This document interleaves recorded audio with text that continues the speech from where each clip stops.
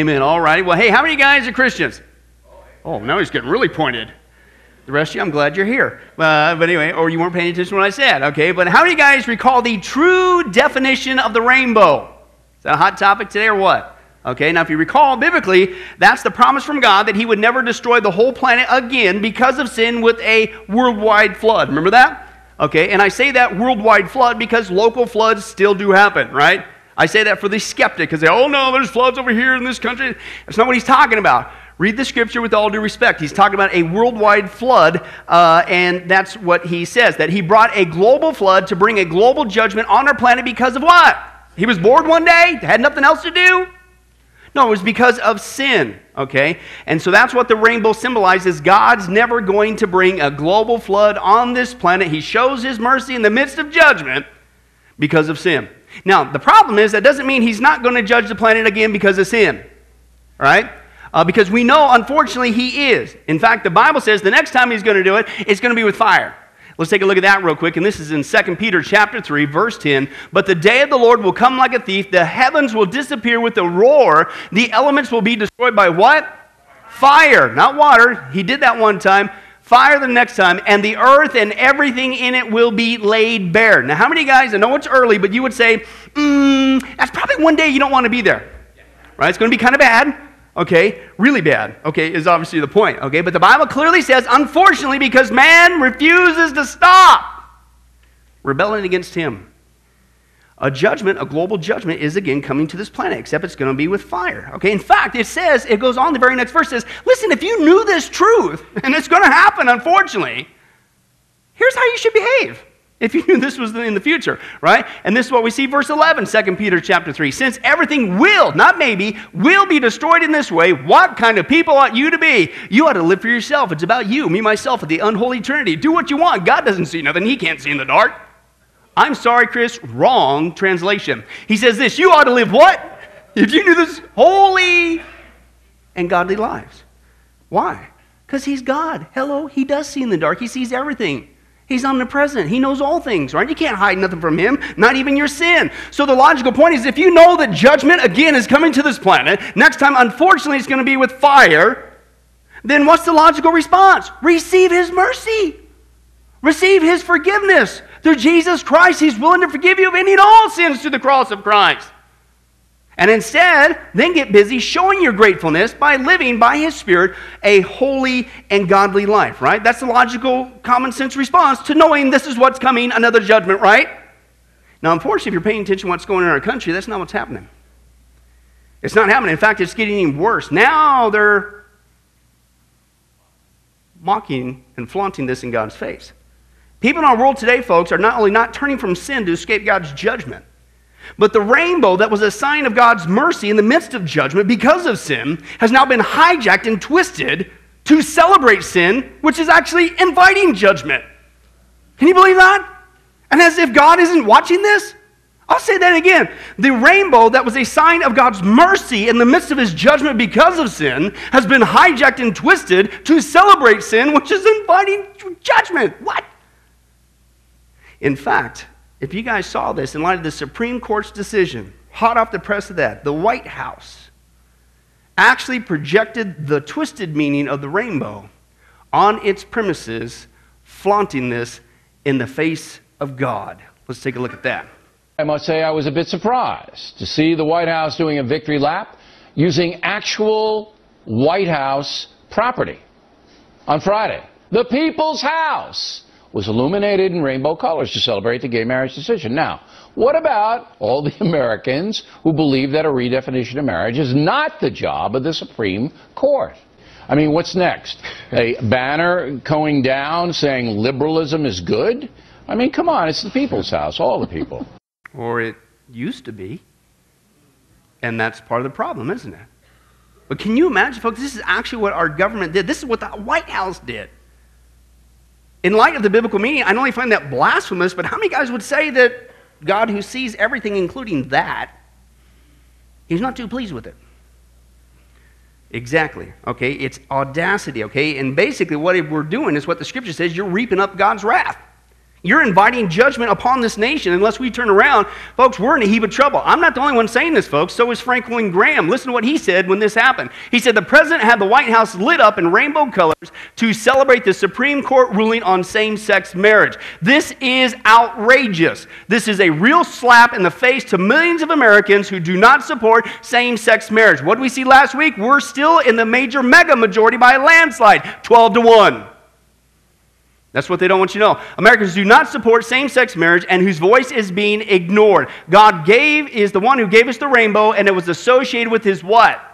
Judgment. God sent a flood to wipe out the entire world uh, because mankind had become so wicked and violent. One man, though, Noah, was found righteous and escaped God's judgment with his family. The rainbow was a sign to know that God would not use a flood again to judge the whole world. But one day, God is going to judge sin, all sin, and only those who are found righteous will be able to escape his judgment. That righteousness comes through faith, believing on the name of the Lord Jesus Christ, who took our sins and shed his blood on the cross for each and every one. So, when you see the gay pride rainbow, rainbow splashed on business advertisements and people's Facebook pages. May it remind us all of God's judgment to come. The question is, he says, are you ready and are your sins forgiven? And that's the question really at hand, isn't it? Have you accepted Jesus Christ, your Lord and Savior? Have you truly asked Him to forgive you of all of your sins? Have you repented of your sins, turned from them to escape the coming judgment? That's the issue, isn't it? And that's why we're going to continue our study, a Christian response to the Supreme Court decision. Our world, folks, right now, our White House right now, our government right now, our courts right now are flaunting and celebrating sin in the face of God, and we're headed for judgment. Unless we turn around very quickly. Okay, now what we're doing in our studies, you know, if you were here last week, we're taking a look at four things that I believe are pivotal if we as a nation, yes, a Christian nation, okay, need to do if we're going to experience revival, then judgment instead of just judgment. Okay? And last time we saw that we are being lied to, shocker, by the media, by the government, and by our school system to try to keep us into an apathetic mindset so we will not fight back in love, saying that there's no way we could ever win. That's a lie. Okay, they want us to think that, so we roll over apathetically and, and say, just you might as well give it up, roll over and die. When in reality, again, we are in the majority 12 to 1. And we saw we are a Christian nation, no matter what our president says, and we're founded on Christian principles. And we saw that by doing the homework, the history lesson with our founding fathers, the founding schools, and yes, our founding churches, who used to, and this is the problem today, this is why sin has come in with such a great flood. The churches used to preach a message of revival and repentance. Why? Because only the Word of God, our founding fathers knew this. The churches were the final backup plan. If you preach the Word of God, if you challenge people to turn from sin, not just identify it, turn from sin, it will keep the heart of man in check and it'll keep our country on the one and only foundation that can keep us moving forward, and that is Jesus Christ. The church is not doing that today. Not only have they ripped it out of the schools and the government, but the backup plan is not functioning correctly because we're in apostasy. Okay? As we saw, folks, this isn't just some theory. This is what our founding fathers, when you look at the documents, this is what our founding fathers believed in, and this is what they expected to remain in our country. If we're going to maintain our freedoms and certainly not be swept away in the next coming judgment. Okay? But again, that was the first part. That was the encouragement. Now we're going to take a look at the danger. The danger of this decision by the U.S. Supreme Court. And folks, I don't know what it's going to take. We've talked about prophecy in this church 80 weeks. Who's counting? I was. we know the seven year tribulation is coming, right? We know God is not pleased with sin. But God also warns if you don't turn from this sin, you're doomed. I don't know what God has to do to wake us up before we, as the majority still, 12 to 1, wake up. So maybe we need to take a look at where God says this is headed unless we, the church, shine the light of Jesus Christ. We say we love our nation. We say we wish this would stop. We, but do we just sit there week after week and do nothing? Do we understand how dangerous of a decision this was? God basically says, folks, you think it's bad now? You ain't seen nothing yet. Because of what the Supreme Court just did, what the White House is doing, and God sees this, you ain't seen nothing yet. You just entered into the third and final stage of what's called a depraved mind, and unless something turns around real fast, you're going down. I didn't say that, he did. Open your Bibles to Romans chapter 1. Romans chapter 1, this is the promise from God. All right? I'm not making this up. This is not just me just trying to be, you know, fanatic, you know, trying to sound the alarm, trying to scare people. God had it here for 2,000 years, man. Unfortunately, we're not listening to him. Okay, Romans chapter 1, we're going to read verses 18 uh, through 32. Let's take a look at what God promises. You go down this route, what you going to do? What you going to reap? You're going to reap what you sow. What is it? Good times? Absolutely not. And we got to take this serious, guys. This is very dangerous what just happened. Romans chapter 1, verse 18 says this The love of God. Oh, I'm sorry. Once again, Chris, can you, you can I get help? The wrath of God is being revealed, okay, from heaven against all the godlessness and wickedness of men who suppress the truth by their wickedness, since what may be known about God is plain to them. Well, How's it plain to them? Well, because God made it plain to them. Well, how did He do that? Keep reading. For since the creation of the world, God's invisible qualities, His eternal power, and divine nature have been clearly seen, being understood from what has been made, i.e., creation. You should be able to look outside, look at the design in everything from the stars to the trees to the fleas to the bees to you and me, and go, whoa, there's no way this happened by chance. And that's why He says, what's the very next thing? So that men are without excuse. You're not going to stand before God, I didn't know you existed. You can't hold me accountable. No, ain't going to fly. Okay? For although they knew God, you knew He existed, but this is the game you were playing. They neither glorified Him as God nor gave thanks to Him, but their thinking became futile and their foolish hearts were what? Darkened. Although they claimed to be wise, woohoo, they became what? Fools, and they exchanged the glory of the immortal God for images made to look like mortal man and, and, and birds and animals and reptiles. Therefore, God says, Fine, you, you want to, I give you so much evidence that I exist. I love you. I want a relationship with you. I sent my son Jesus Christ to die on the cross for you, but you have the audacity to say, evolution, that I don't exist. And you have this mindful science to prove it. Really? Therefore, God gave them over. Okay. To the what? Sinful desires of their hearts. You don't want me? Okay. To the sexual impurity, the degrading of their bodies with one another. They exchanged the truth of God for a lie. And they worshiped and served created things rather than the Creator who's forever praised. Amen. And you didn't want to stop there. You just want to keep following your sinful desires. What is it going to lead to next? What's he say here? Because of this. Now God gives them over to what? Shameful lusts. Even their women exchanged natural relations for unnatural ones. In the same way, the men also abandoned natural relations with women and were inflamed with lust for one another. Men committed indecent acts with other men and received in themselves the due penalty for their perversion. You don't want to stop there? That's where we've been for a while, haven't we? Stage three, the final stage. Here's what's coming next according to the Word of God. Furthermore, since they did not think it worthwhile to retain the knowledge of God, he now gave them over to what? A depraved mind to do what ought not to be done. You think it's bad now? You can see nothing. They've now become filled with every kind of wickedness, every kind of wickedness evil, greed, and depravity. They're full of envy, murder, strife, deceit, malice. They're gossips and slanders, God haters, insolence, arrogant, and, and boastful. They invent ways of doing evil. They disobey their parents. They're senseless, faithless, heartless, ruthless. Although they know God's righteous decree that those who do such things deserve death, they not only continue to do these very things, but they what? What's the word there? They also approve of those who practice them. Can I bring that into the modern vernacular? You start passing laws approving wickedness in every state to force other people to approve it too. And when they resist, you go to the highest court of the land to get them to approve it to now force you to approve it too. If you want to know, folks, what's going on with our country and why we're going down the tube so fast, it's right here in the scripture. Read the Bible. We are following, unfortunately, the same destructive path that the Roman society went under. It's the exact same pattern. If you take it from that opening context in verse 18, first, just like the Romans, unfortunately, there came upon this evolutionary mindset that had the audacity to say that God does not exist, even though there's tons of proof of existence in what he has made, the i.e., the intelligent design argument. It's all over the place. And that's what's been lied to and pushed into our school system and the media for the last 50 years. 50, we saw last week, how did kids learn the alphabet? A, in Adam's fall, we sinned all. C, Christ, he died for sin. What? What? and you rejected God, you rejected the Bible, you rejected prayer. And for 50 years now, we've had the audacity to tell kids, oh, there's no proof for God. And then they grow up and they act ungodly, and we're shocked. You tell them they came from an ape, we're shocked they act like apes. You reap what you sow.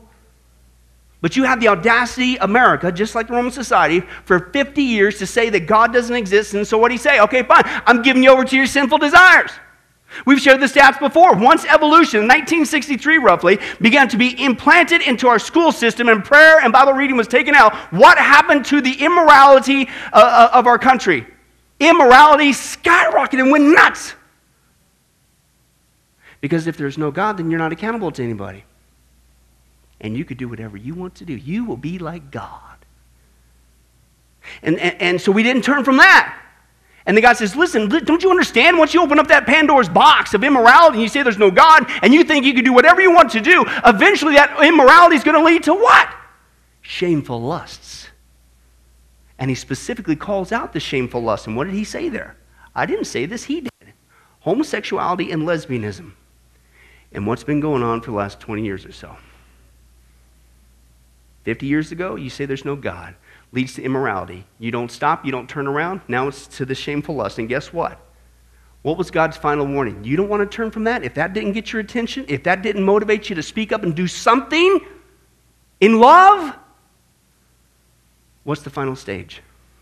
God says, You refuse to retain my knowledge and you keep that up, guess what? You're going to get a depraved mind. Oh, you think it's dark now? You ain't seen nothing yet.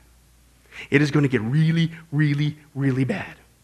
I mean, you think it's evil now? Wait till you see the evil that's coming. It's going to be such full of greed and slander and murder and strife. People are literally going to hate God. They're actually going to invent ways of doing evil, and then they'll have the audacity to approve of this wickedness.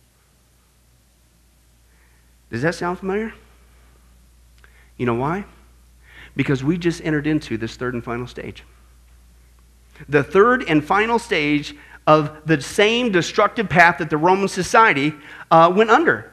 And so it tells us, folks, again, we know we're headed for judgment. The Bible's very clear about that. But if revival is going to happen, then judgment instead of just judgment, we better wake up. We have got to take this series as a nation and as the church, as the people of Jesus Christ. The Bible is clear. Once you go down this route, you just open up the absolute worst Pandora's box you could ever imagine. And it's not just going to get worse, it's going to come in like a flood and it's going to get literally worse every day. And folks, if you've been paying attention to the news, that's exactly what's been going on. Exactly what's been going on since this Supreme Court decision. I mean, not just within days, within hours. Hours of that decision. Just like God says, you're going to open up. Oh, boy unimaginable behaviors are now being pressed to be approved to. Don't believe me? Let me share some with you. Hard off the heels of the Supreme Court decision, here's what's now coming onto the plate to rule on this. As we saw before, all this ongoing redefinition of marriage with same sex unions is now including the idea of what's called non monogamy. In other words, acceptance of multiple partner marriages, i.e., polygamy without the stigma of adultery. In fact, it's already happening in days within the ruling. People are now going to the court saying you have to legalize polygamy uh, for the same exact reason that the other thing just got legalized. Let's take a look at that. My next guest is a polygamist. He is already legally married to one woman, and now he would like to legally marry a second, saying the basis for this past Supreme Court ruling for same sex couples is about inclusion and legal legitimacy for all consenting adults. So, why not for polygamists as well? This is, this is his argument. Nathan Collier and his partner Christine went to the Yellowstone County Courthouse looking to be wed under the Marriage Equality Act. The Colliers practice polygamy, but it's currently illegal under Montana state law. We just want to add legal legitimacy to an already happy, functional, strong, loving family. As the two filled out their marriage application, they were met with questions. You're married to someone else? I'm married to, to my first wife, Victoria. Okay. The couple was met with surprise. So are you legally married to I'm legally married to Victoria. So you didn't get divorced from her yet? No, we're still a fam- we're a plural family. I'm a polygamist. I have two. Hold on just a sec. We're not even asking for acceptance. We're just asking for tolerance. The Colliers say if the state of Montana could recognize their marriage as legal, it could be the catalyst for other states to follow suit. You might think there's no way in the world that's ever going to happen, but folks, did you hear what was the argument in this premise? It, we love each other. How could that be wrong? Number two, we just want you to tolerate. It's the exact same argument. And folks, I'm telling you, it's coming in like a flood, and that's just the tip of the iceberg of what is coming next, okay? Judge Richard Posner, check it out. He's a federal judge with the Seventh Supreme uh, Circuit Court of Appeals, who also is a supporter of the gay marriage movement, said this, quote, I'm not making this up. Perhaps it's time for the government to begin issuing rape licenses, since the, quote, right to rape for some men at least exceeds the victim's physical and emotional pain. What? Oh, that'll never. God said, once you go down this route, you get a depraved mind, you're going to start doing things that ought not to be done. It's coming, it's going to get even worse. Other legal officials are now saying that even pedophiles should have the same, quote, civil rights. Wasn't that the same argument? This is not a sin issue, they kept saying. It's a civil rights issue. So then maybe that applies to other sins. Civil rights should be applied also to pedophiles as well. Margot Kaplan, she's a law professor at Rutgers University, direct quote People who are sexually attracted to children must hide their disorder from everyone they know. Yeah. But, she said, or risk losing educational and job opportunities. Quote, so the nation's anti pedophilia laws are unfair to pedophiles and should be changed. Isn't that the same argument? This is unfair. You don't think it's going to happen? We better get motivated. God warned it, folks. And another judge in Australia said pedophilia and incest may no longer be considered taboo, just as gay relationships are now being more accepted than they used to be in the 50s and 60s. Can I translate that for you? It took several years, it took three decades of a grassroots movement, but eventually you approved it. And in the 50s and 60s, you would have said there's no stinking way it would even make it to the Supreme Court, let alone the Supreme Court saying yes on this. Are you kidding me? He said, I'm telling you. You think it's nuts now? Even in the case of incest. We'll change your mind. What did God say? You go down this route, folks. You are headed for a depraved mind. You as a people, you as a nation, whoever does this, whoever has the audacity to say that God doesn't exist when He's left so much evidence. And then you stop, you will refuse to stop from your sin, you just do this, now you start to pray. Don't you understand? You're going to start doing things you, that ought not to be done. And it's coming. One congressman, you think, oh, you're being a liar. I'm just quoting the Bible. Are you going to call God a liar? One congressman from Texas stated this. Other people, I'm telling you folks, 12 to 1. Keep that in mind, 12 to 1.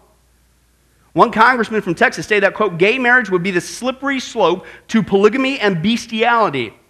And when you say it's not a man and a woman anymore, then, then why not have three men and one woman, or four women and one man? That's what was going on. That's what they're already pressing the courts to pass. And he says, and then why not allow somebody's love for their animal? And you think, come on, Pastor Bill, there's no way, there's no way. I mean, come on. I mean, that, that's bad enough. That's, that's, that's, that ought not to be done. I mean, that's no way. Folks, it's already being done. People now, because you tweaked with marriage, now there's no definition for marriage. Apparently, you open this Pandora's box. People are, have already started to marry their animals. Here's one lady. Check this out. We've all heard a dog's best friend, but for one woman, it's death do us part for her and her pooch. 47 year old Amanda Rogers was married 20 years ago, but the marriage ended after only a few months. It seems like she was barking up the wrong tree with that guy. You may be wondering what kind of dog was it to win her over, have her walk down the aisle? Well, it was a terrier its name is Sheba. It's also a female just like her. It's kind of like a lesbian romance here. I hope they're not doing anything sexual. They did kiss during the ceremony. Of her new marriage, Amanda says, I couldn't think of anything I could need more from a life partner. Really though? Yeah. Really? Folks, do you think God was kidding 2,000 years ago? When you have the audacity to say I don't exist and you keep promoting that. And you go and you get into your sexual immorality and you refuse to turn from that. And then you get in there and you start allowing with homosexuality and lesbianism, and then you get to the audacity where you actually approve that. You really don't think that's. What more do I got to do to wake you up? Those who do not learn their history are doomed to repeat it. God has had the Roman history recorded for us for 2,000 years. Apathy, sitting here doing nothing, freaking out, or, as we're going to see in a little bit, eye for an eye, tooth for a tooth. That will ensure that we're doomed. We have to respond to this correctly.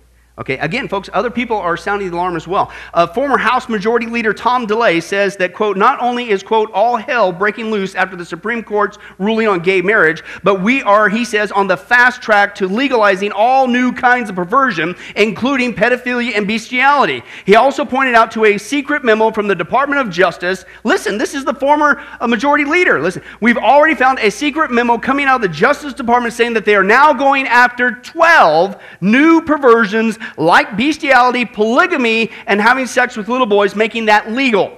Not only that, they also have a whole list of strategies, quote, to go after the churches, the pastors, and any businesses that try to assert their, quote, religious liberties. In other words, if you don't approve of this, including all of that, we're coming after you. That's what he said. And he says, listen, this is not a game. This is a direct quote. Listen what he said. He said, this is coming, and this is coming like a tidal wave. Why? Because you've rejected God, and you're in stage three, the final stage. Folks, what more does God got to do to get our attention?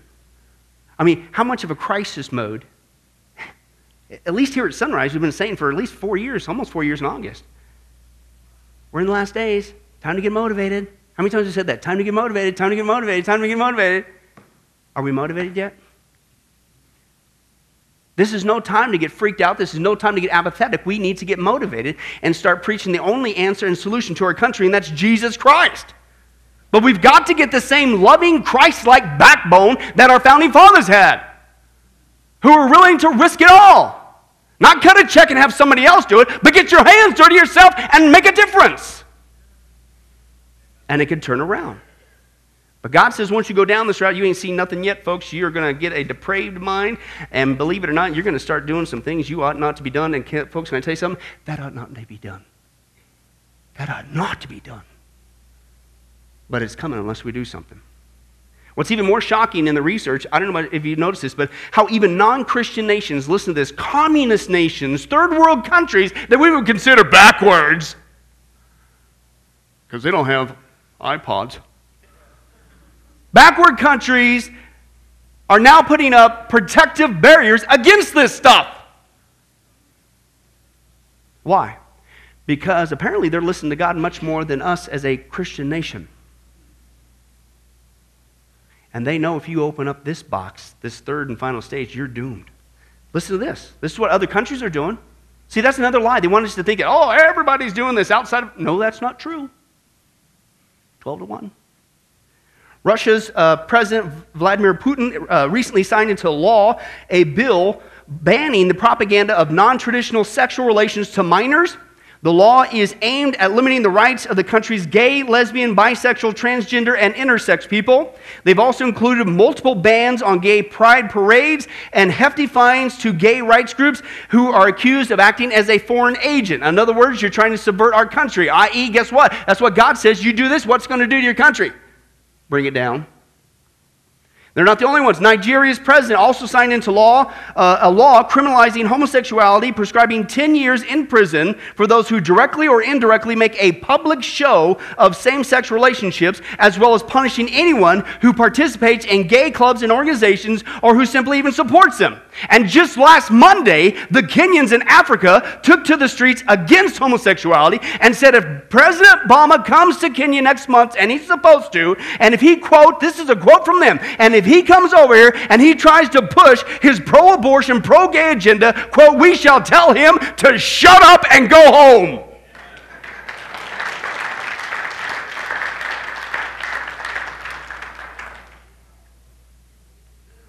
We better get the same backbone.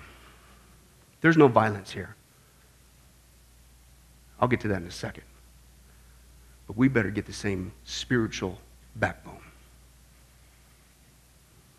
And we better speak up. This is serious. But who would have thought? Who would have thought we get so bad that communist nations, third world countries that we consider backwards, they've never even heard of McDonald's. They know better than to allow this third and final stage to unfold in your country. And they're protecting their people and their country against it. But it's, it's more than just that, folks. That's the first danger of what is coming. You think it's bad now? You think it's wicked now? God says you ain't seen nothing yet. Here's really what's going on. Here's really what's going on. The decision by the Supreme Court is also going to be used to silence the church. Silence the church and get rid of any Christians who do not approve of this behavior. Not just pastors, any Christian, anyone who objects to this behavior is going to be labeled as a quote hater, and you will need to be taken away and hauled away for your crime because you have the audacity to say it's wrong and you don't approve it. They're going to take you to jail. It's already happened. And now, with this decision, it's going to happen faster if we don't speak up quickly. Here's just one case. When do we want equality? When do we want it now? When do we want equality? We've been hearing about it for months, but the battle for marriage isn't about equality. By trampling on marriage, homosexual activists want to reshape the culture into something we won't even recognize. But this battle isn't about marriage. It's about driving the homosexual flag into yet another segment of society and then using it as a club to silence all dissent, to label anyone who disagrees as a hater. Just like someone visited the Family Research Council after the Southern Poverty Law Center slapped them with the hate group label. In his backpack, the police found 50 rounds of ammunition and 15 Chick fil A sandwiches. And uh, Floyd Corkins had admitted that uh, he intended to shoot and kill as many possible members of the staff of Family Research Council as he could. And he intended to smear uh, the Chick fil A sandwiches in the faces of his victims. Corkins had chosen his target, or multiple targets, by looking at the website of the Southern Poverty Law Center. And because they had designated Family Research Council as a quote unquote anti gay hate group and placed us on their hate map, which is still on their website. That that was how he chose us as a target. Once marriage is redefined, that becomes a foundation for Christian and traditional beliefs to be marginalized. It's no longer speculation.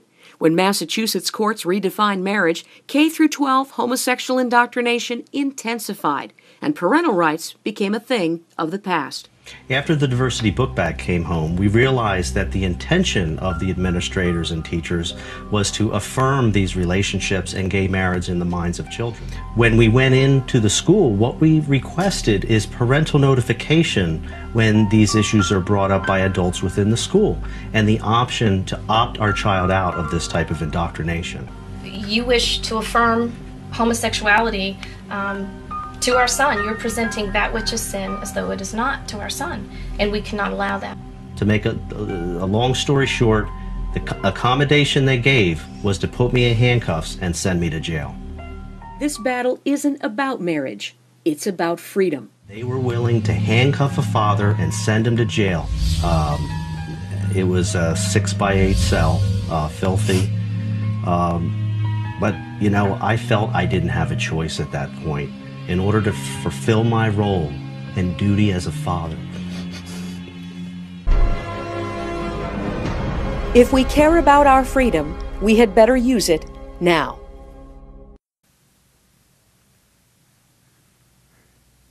That was 10 years ago. We were warned of that coming, and it had already started happening 10 years ago. Did you see the date? What more has to go on before we take this serious and the spiritual condition of our country, period, even outside this issue, and start caring enough for the people around us and our country and get back to preaching Jesus Christ. He's the only hope for our nation. And yet, the statistic is this 95% of Christians have never once led not even one soul to Christ. But we want our nation to turn around. And we don't do anything. That was 10 years ago that this happened. Oh, by the way, folks, um, notice that wasn't a pastor. That was just a Christian father who objected with no violence. Wasn't saying go out and get them. Just please don't teach that to my son. In school, public school, he was handcuffed 10 years ago and thrown into prison. Not just pastors, but any Christian. And I say that because sometimes I, I, the Christian community, it, it, seems like we, we have this. Well, yeah, that's coming, Pastor Billy. Woo-wee, but too bad for you.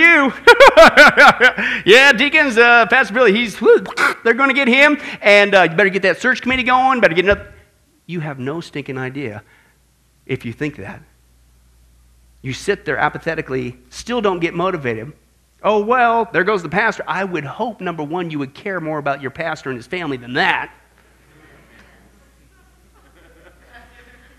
number two, you still sit there in apathy, do nothing, and you don't realize they're coming for all Christians. Because that's what's coming. In fact, pretty soon, see, you think, I just, pretty soon, Anybody disagrees, just like that Christian father. Now, in light of the Supreme Court's decision 10 years later, don't kid yourself if you, the individual Christian, aren't going to be called in for one of these meetings. Watch this. Thanks again for coming down, Mr. Wilson. I know you're a busy man, so we'll try and keep this short. Come on and have a seat.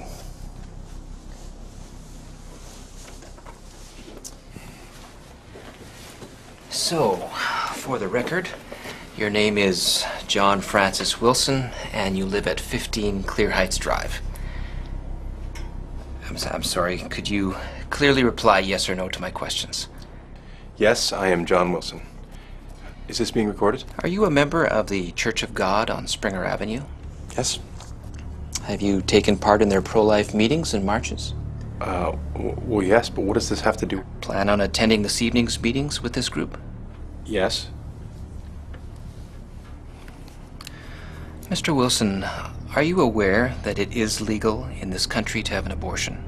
Well, yes, but it hasn't always been that way. Are you aware that some healthcare providers have been attacked and murdered by members of groups like yours? Hold on. Uh, we have nothing to do with those groups. We are peaceful people that are Are protesting. you aware that some healthcare providers have been attacked, Mr. Wilson? We believe in preserving life and not taking it. Are you aware, Mr. Wilson? Yes or no?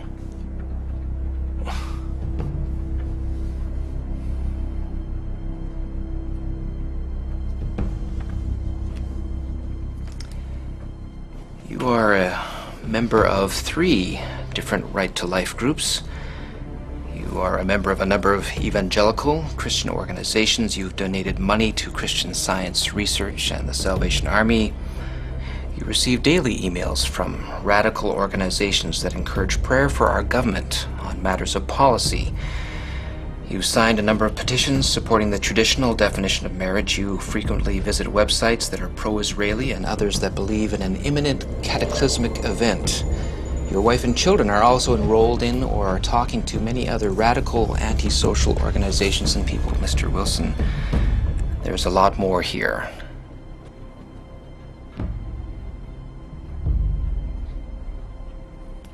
Are these the actions of a peaceful man and his family?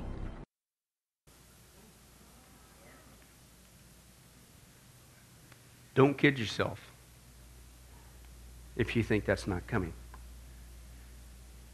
This is the danger of what just happened. We have a window that I believe, if God in His mercy, if the church responded correctly, the 12 to 1, we could have revival. But if we don't take this serious this time, we may not ever get another time.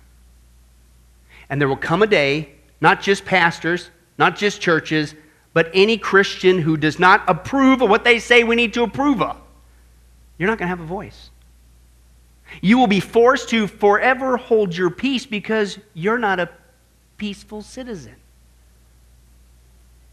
This is what's coming, folks. This is what is coming. Why? Because, folks, we have to speak up. And the problem is, the pattern of the church is for the last 20 years, we haven't spoken up. We haven't spoken up. The church has been asleep at the wheel for so stinking long, and we've been so complacent in love with the things of this world, acting, living, speaking, behaving like this world, instead of following Jesus Christ, the one who made this world. And because we continue to beat each other up over secondary, goofy issues that will not make a hill of beans difference, we've allowed ourselves to become divided and weakened. And they moved in and capitalized on this. We're in the majority, but we're so stinking divided. But if we would get united in Christ's love and do it correctly this time, in Christ's love, there is hope.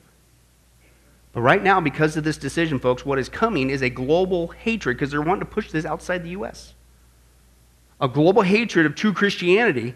And the irony is, with this hate crime law, is that we true Christians, dare I say that, true Christians, are not advocating any hate let alone any violence, let alone any bodily harm to anybody who's involved in homosexuality or lesbianism or any sin.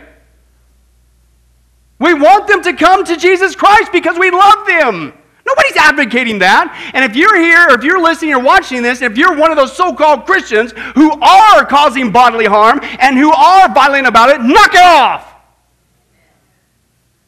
You're giving the rest of us a bad name. You're making it easier for these laws to be passed. That's not how to share Christ's love. We have to do it correctly and biblically. I'll get to that in a second. But lest there be any doubt that this movement isn't about equality of behavior, not even, quote, marriage behavior but rather the removal of Christians, Christianity, the church, and free speech in the United States of America, let's go back a few years. Let's see what is actually on record in Congress. Why didn't you read this at the Supreme Court hearing? But let's take a look out of their own words. What is the real agenda? What are you trying to accomplish with pushing this movement? Let's take a look at that. This is the Gay Manifesto by Michael Swift, first published in Gay Community News February 15th to the 21st in 1987. It is also reprinted in the Congressional Record. This is what it states. We shall sodomize your sons, emblems of your feeble masculinity, of your shallow dreams and vulgar lies. We shall seduce them in your schools, in your dormitories, in your gymnasiums, in your locker rooms, in your sports arenas, in your seminaries, in your youth groups, in your movie theater bathrooms, in your army bunkhouses, in your truck stops, in all your male clubs, in your House of Congress, whenever men are with men together. Your sons shall become our minions and do our biddings. They will be recast into our image. All laws banning homosexual activity will be revoked. Instead, legislation shall be passed which engenders love between men. All homosexuals stand together as brothers. We shall triumph only when we present a common face to the vicious heterosexual enemy. If you dare to cry faggot, it states, fairy, queer at us, we will stab you in your cowardly hearts and defile your dead, puny bodies.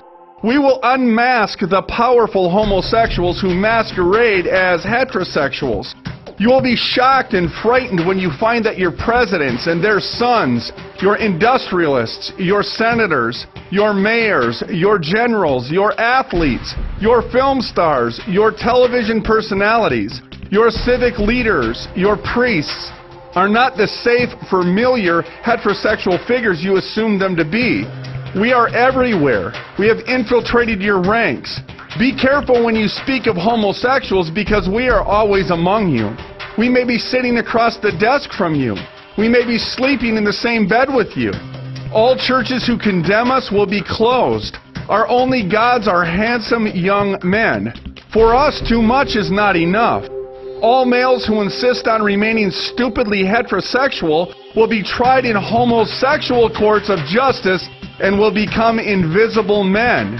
We shall rewrite history, history filled and debased with your heterosexual lies and distortions. We shall be victorious because we are filled with the ferocious bitterness of the oppressed who have been forced to play seemingly bit parts in your dumb heterosexual shows throughout the age.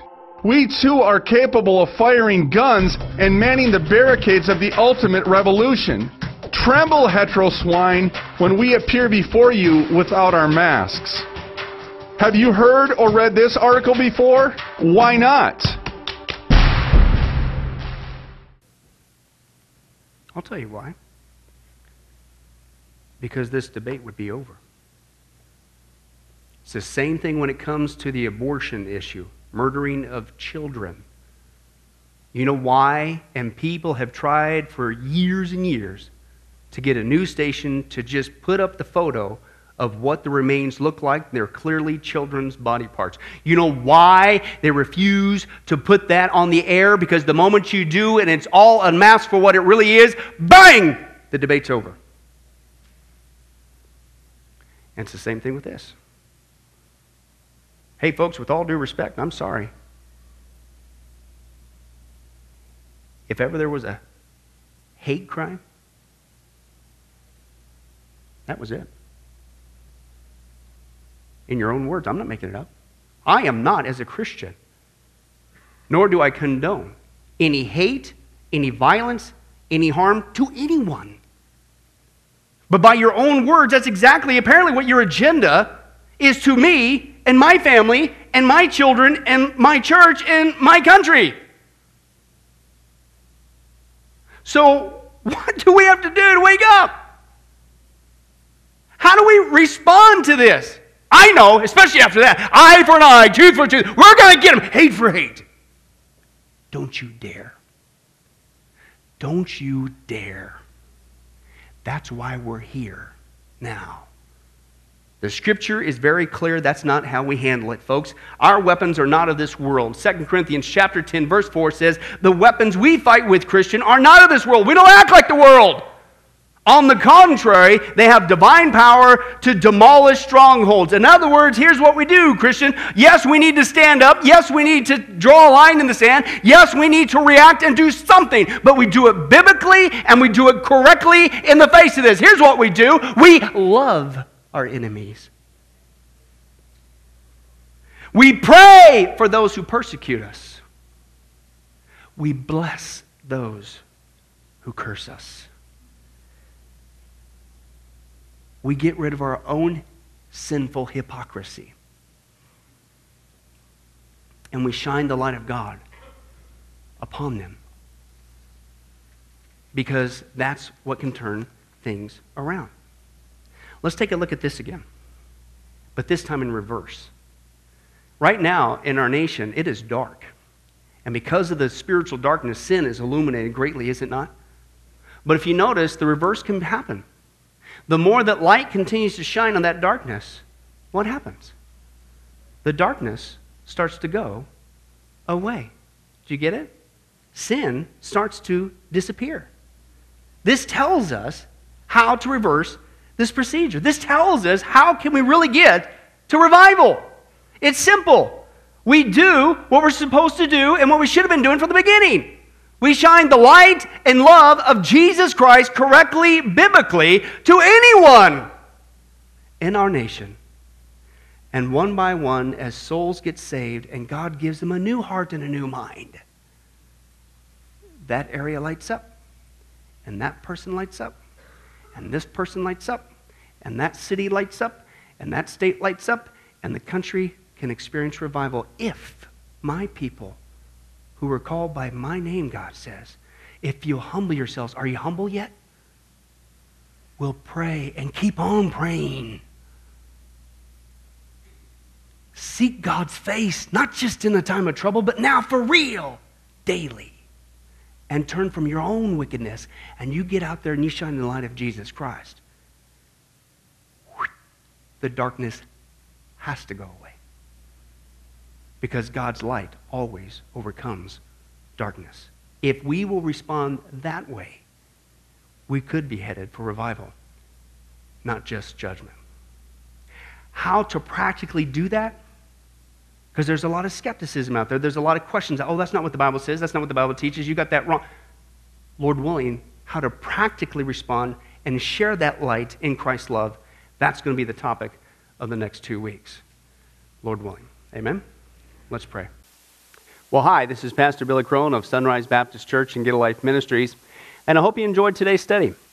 But in closing, before you go, let me ask you one final question. If you were to die today, are you sure that you go to heaven and not hell? You see, here's the problem the Bible says that nobody automatically gets to go to heaven, and that's because God is holy and we are not. The Bible says that the wages of our sin or our unholiness or the wrong things that we have done have separated us from God. And the wages of our sin or unholiness uh, means that we deserve to die and receive God's judgment to go to hell and not heaven. In other words, we're disqualified for heaven. And that's because God being holy and us being not the two cannot mix. So, what are we going to do? Well, that's bad enough. The other problem is we don't even want to admit this dilemma, even though God already knows it all. And so, out of love, God gave us something called the Ten Commandments to show us that we're really disqualified for heaven. We're not holy, we're not perfect like Him. Uh, let's take a, a, look at just a few of those uh, here today. Uh, the Bible says, the Ten Commandments says, You shall not bear false witness. That means lying. How many of you ever told a lie before? Well, those of you who didn't raise your hand, you just did. Okay, let's be honest, folks. Let's not tell another lie. We've all lied. Well, believe it or not, that disqualifies you for heaven. That's how holy God is. He is the truth, He does not lie. And so that makes us a liar. Another of the Ten Commandments says, You shall not steal. Okay? How many have ever taken anything without permission? Well, all of our hands should have went up at that one. Uh, we've already said we're a bunch of liars. Okay, well, we've all done that. And it doesn't have to be a bank, uh, it could be a pencil in the third grade. Uh, that means that we're a thief. Okay? The Bible says that God is so holy, even his name is holy, and that's why one of the Ten Commandments says, You shall not use the Lord's name in vain. Hey, folks, isn't it ironic how uh, now the blessed name of Jesus Christ, the Bible says there's no other name under heaven by which men might be saved, Jesus Christ, has now become a cuss word? Folks, the Bible says that's the sin of blasphemy. Okay? And folks, let's be honest, we've used God's name in vain uh, before. The Bible also says in the Ten Commandments, you shall not commit adultery.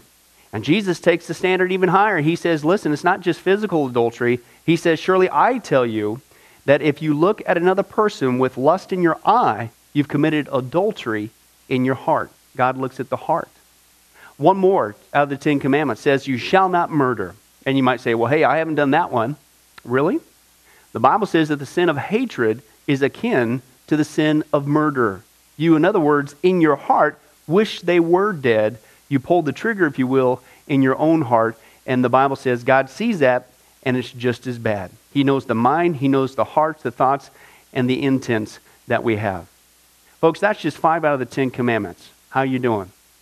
Not very well. None of us can keep them. They're God's x ray to show us that we're disqualified.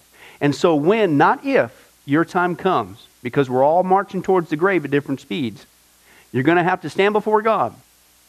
And you're going to have to uh, say who you really are. He already knows. Hey, God, let me into heaven.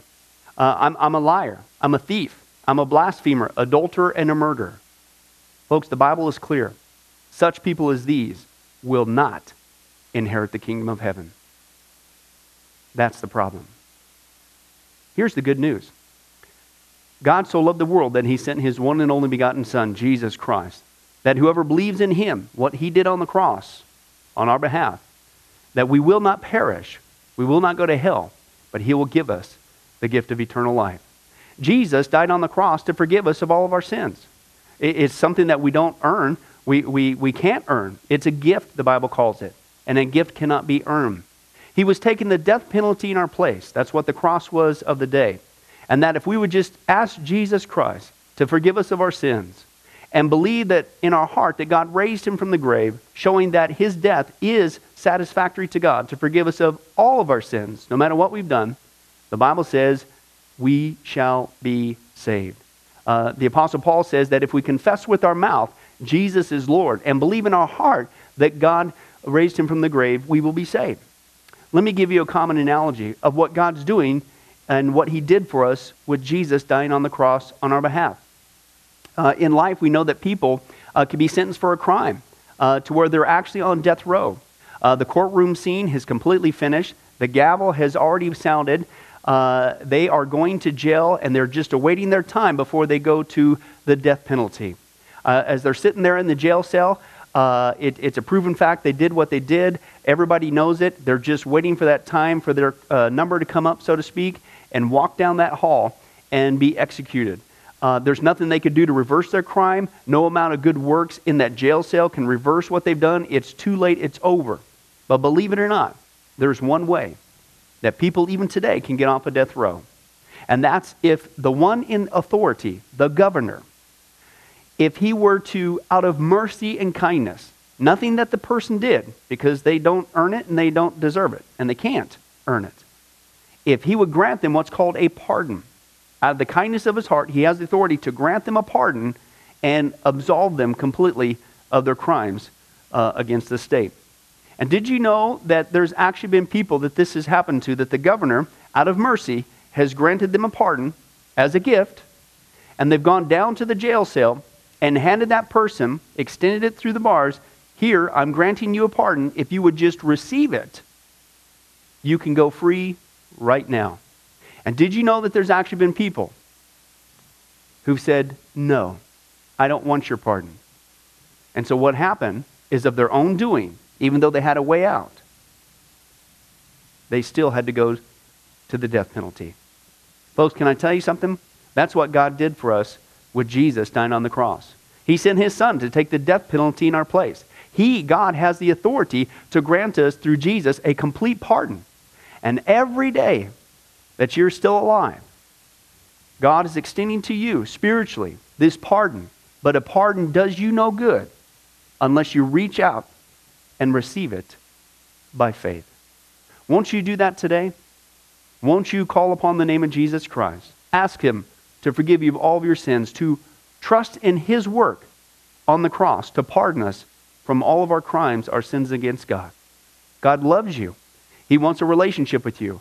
But there's only one way to heaven it's Jesus. There's only one way to get off a death row it's through the cross of Jesus Christ. Won't you do that right now?